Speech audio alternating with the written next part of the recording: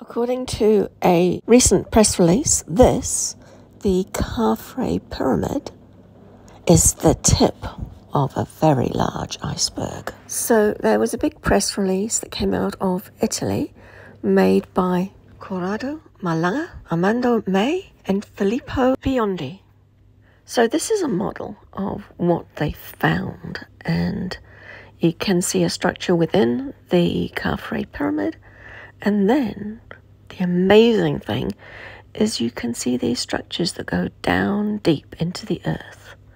So what we're going to do is we're going to go through the information that's been released so far. Apparently there's going to be a lot more released fairly soon, but we'll just look at what we know so far. And I got this from Trevor Grassi's uh, Facebook page. So thank you, Trevor. I'm Much appreciated for keeping everybody up to date. So here's what we know so far, and we're getting this information from the abstract that was released on the 16th of March. Quote, this abstract summarizes the key points of our research, which aimed to clarify the possible hidden structures inside the second pyramid of the Giza Plateau, known as the Khafre Pyramid.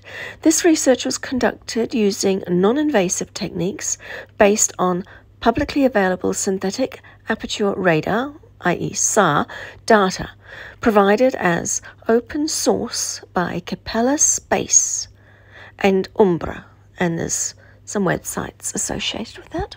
It then goes on to describe the first step that was taken before this, which was the project to scan the Khufu pyramid and a few of the results of, of that. In fact, I did an episode on this when the information came out, and uh, I've since updated it. So you'll see on my channel there's a fairly recent version of that as well.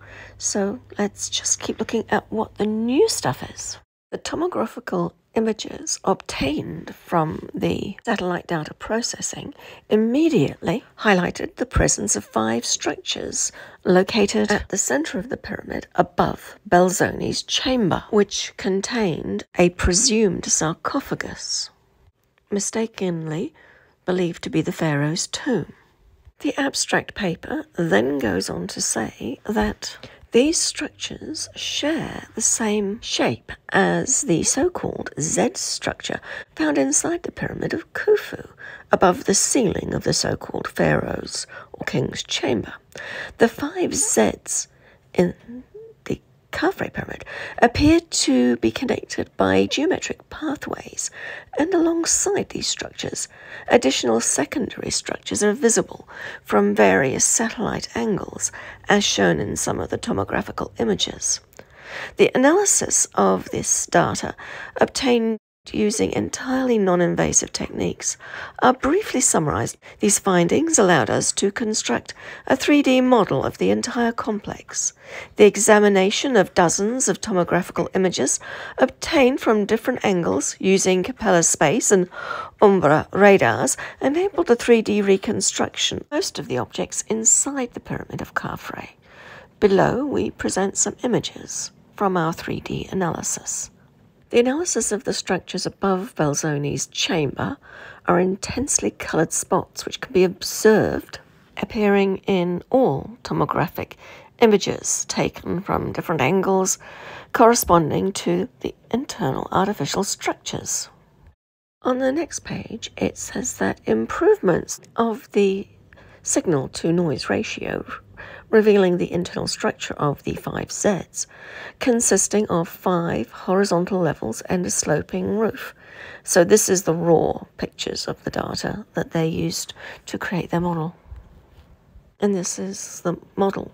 So it reads the tomography with another cross-sectional line showing the presence of vertical structures. And if you think that was pretty mind-blowing, it then goes on to say, as observed in the 3 model below the ground level, so ground zero of the main structure, vertically aligned cylindrical structures extend for hundreds of meters beneath the Giza Plateau. Notably, eight of these structures, arranged in two parallel rows from north to south, descend to a depth of 648 meters, merging into two large cubic structures measuring approximately 80 meters per side. These features are illustrated in the topographical images and models presented.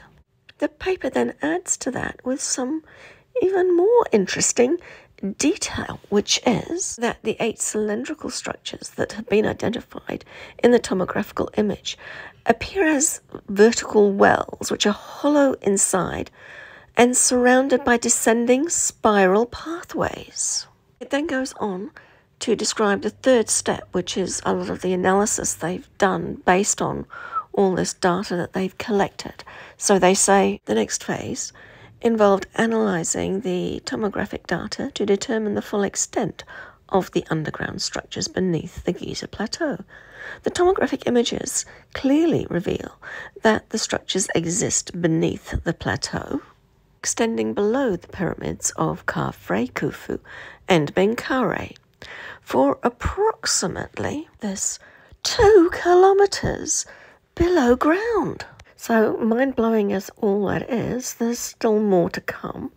And this is just a little bit of the information that they have shared with us so far. So, we can look forward to a lot more to come out fairly soon. And uh, I will keep you posted. In the meantime, this is a, a look at some of the models and some of the data.